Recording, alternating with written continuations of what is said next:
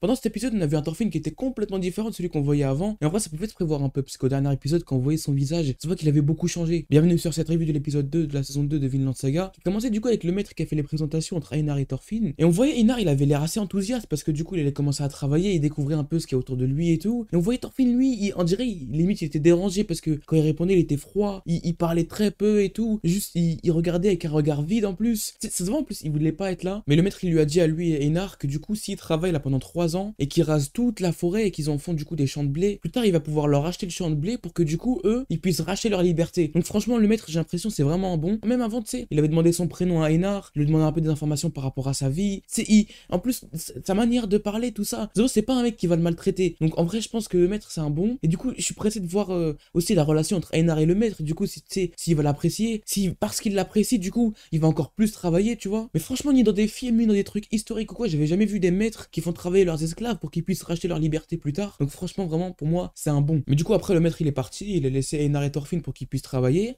Et on voit que Einar, il voulait parler avec Thorfinn et tout. Il lui posait des questions, il parlait avec lui et tout. Mais Thorfinn, il, répondait pas. En fait, c'est comme je disais tout à l'heure, tu vois. Il était froid et tout. Donc Thorfinn, il est complètement différent. Alors qu'avant, tu sais, je pense que si c'était le Thorfinn enfant, il aurait plus fait le mec énervé. Il aurait, bah, déjà, il aurait même pas été là, tu vois. Donc c'est pour ça qu'il y a eu beaucoup de changements. Et en vrai, du coup, je suis pressé de voir ce qui s'est passé entre les deux saisons, quand Thorfinn il a grandi, ce qu'il a vécu, etc. Et du coup, ils ont avancé. Il y avait une rivière. Et Thorfinn, il a dit qu'il devait couper tous les arbres de leur côté de la rivière. Donc déjà qu'il y en a beaucoup, mais en plus, après avoir coupé, le tronc, faut couper toutes les branches. Donc je pense que ça va être bien long. Mais je pense. Et de toute façon, le maître, il avait dit, dans à peu près 3 ans, ils vont pouvoir racheter leur liberté. Donc franchement, en vrai, moi je pense que ça va, hein, 3 ans d'esclavage, pour qu'ils, tu sais, ils travaillent dur, comme ça plus tard, ils rachètent leur liberté. Et ensuite, ils sont tranquilles. Donc ils se sont mis au travail. On voyait Enar en plus, il fait n'importe quoi avec sa hache. Car moi, Thorfinn, il le regardait galérer. Il lui disait, observe, observe, arrête de, de, faire de la, merde là. Parce que et Einar en plus, c'est comme l'autre fois avec sa hache là. Sa mère elle lui disait c'est pas pour toi les trucs de guerrier et tout. Là pareil avec la hache et l'arbre, il a voulu, il, a voulu je sais pas faire je sais pas quoi. Mais bref, c'est mieux qu'il laisse Thorfinn faire le principal et derrière il l'aide. Mais quand même en, l'aidant, tu sais parce que en fait je crois surtout Thorfinn il cassait les arbres et derrière, ouais en fait euh, d'ailleurs ça me fait bizarre parce que Vinland Saga normalement c'est un truc de viking, ça parle de guerre, de bataille et tout. Et maintenant dans un arc où ils sont à la ferme, on parle d'agriculture, on parle d'arbres, de Einar qui galère, du coup qui coupait les branches. Et en plus à un moment Einar il avait faim, donc euh, il a demandé à Thorfinn c'est comme pour, comment pour les repas et tout.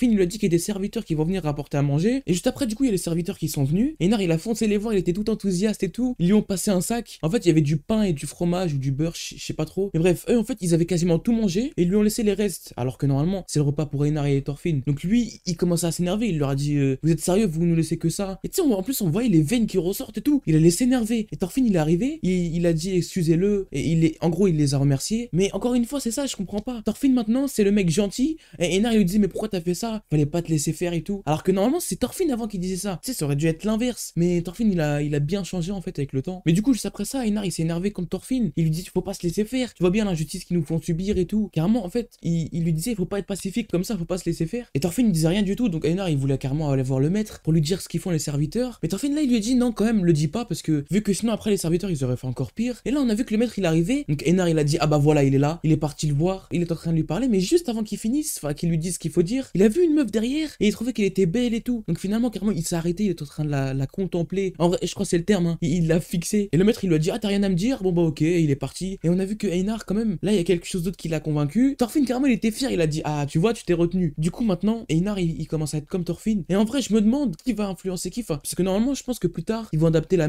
adopter la même philosophie, la même manière de penser, etc. Mais du coup, qui va influencer qui et, ça va se passer comment? Je me demande comment ça va être. Et après, du coup, le maître, il est parti où il récolte le blé. Il est en train de le faire avec les esclaves, avec les serviteurs et tout. Donc en fait, lui, tu vois, c'est un mec, il, est en plein dans le travail, il est dans le champ en train de travailler. C'est pas juste, il leur dit faites ça, faites ça, faites ça. Pour moi, c'est vraiment en fait la différence entre un chef et un leader. Dire que le leader, il, fait le truc et il motive ses troupes et tout. Alors que le chef, c'est juste qu'il leur dit ce qu'il faut faire, mais tu vois, lui, il profite de leur travail. Alors que non, lui, le maître, c'est carrément un leader. Et carrément plus, Einar, ça l'a surpris, même comme moi, ça m'a surpris. Einar, il disait, il était surpris qu'un riche soit en train de travailler, parce que normalement, les riches, ils travaillent pas, tu vois. Et du coup, Einar, il regardait, il y avait un peu tout le monde qui regardait le maître. Et en fait, il était en train de s'embrouiller avec son fils, parce que son fils, pour récolter, il faisait n'importe quoi. En fait, je crois qu'il faisait trop haut ou trop bas ou je sais pas quoi. Et le maître, il lui disait, non, fais pas comme ça. Et lui, il disait, non, mais de toute façon, je m'en fous, j'ai pas récupéré ta ferme, je veux devenir guerrier ou je sais pas quoi. Donc lui, vraiment, il m'a trop fait penser à Hermep au début de One Piece. Vous voyez, le fils du, de Morgan. C'est-à-dire que c'est un mec, en fait, il profite du titre de son père pour foutre la merde, pour, pour être une merde, clairement. Je, le dis en vrai, lui. Après, peut-être qu'il va s'améliorer plus tard. Mais de toute façon, en fait, il est même pas crédible parce que même en plus, on le voyait quand il voulait dégainer son épée. Il a voulu prendre son épée, mais il arrivait même pas à la dégainer. Il arrivait pas à la sortir du fourreau. Donc,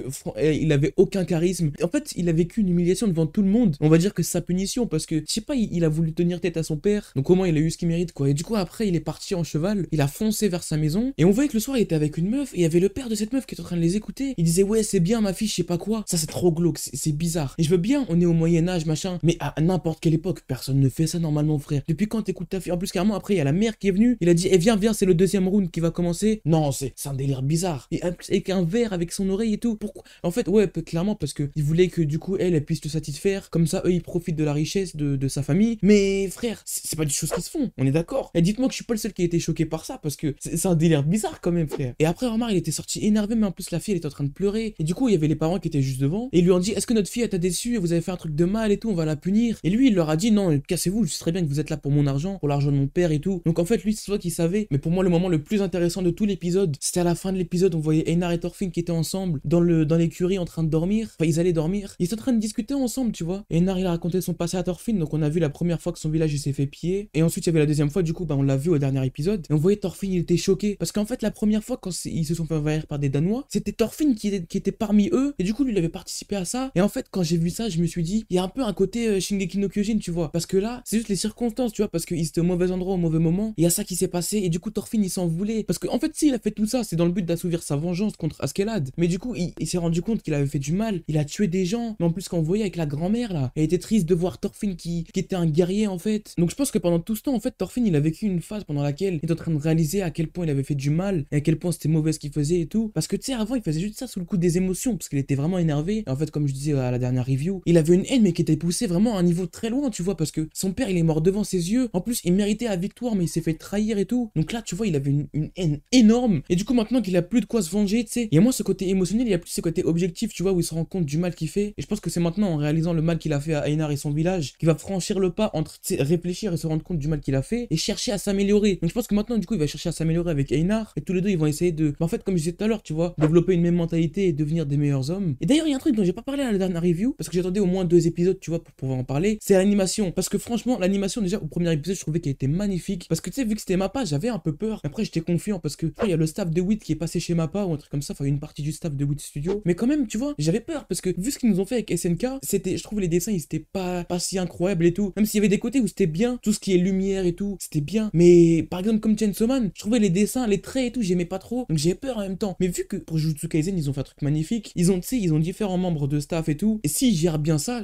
surtout de l'organisation. Parce que pour SNK, je crois que les animateurs, ils avaient très peu de temps pour animer tout ça. Et en plus, ils travaillaient dans de mauvaises conditions et tout. Donc tu vois, ça, ça a joué. Sauf que là, Vinland Saga, pense que ça a été fait dans des bonnes conditions et ça a été bien géré. Franchement, je, trouvais que l'animation était magnifique. Ils en ont pas fait trop parce que tu sais, en plus, on voyait à l'opening, à un moment, on, voyait Canut, un peu des flammes colorées et tout à la Jutsu Kaisen. Je trouvais ça, c'était pas incroyable. Mais c'est pour l'opening, tu vois, donc en vrai, au calme. Mais, mais comme pour l'épisode, je trouve qu'ils ont bien géré. Franchement, l'animation, elle est bien. Les mouvements, ils sont bien. Les traits, ils sont bien. Il n'y a pas d'effet pour aucune raison ou, quoi que ce soit. Donc franchement, je suis content parce qu'en deux épisodes, on a pu voir du coup comme prévu. Enfin, comme dans le trailer, tu vois. C'est le même graphisme que dans le trailer. Et du coup, je suis content. Donc franchement, on verra au prochain épisode si c'est toujours comme ça. Et je suis pressé de voir du coup euh, quand ils vont se réveiller et que Thorfinn, peut-être, il, aura réalisé un truc. Quand, en plus, comme on dit, la nuit porte conseil. Donc on verra euh, s'il aura tiré profit de ce conseil. Et du coup, je vous souhaite un bon visionnage pour la revue de l'épisode 3 de la saison 2 de Vinland Saga. Et à tout de suite.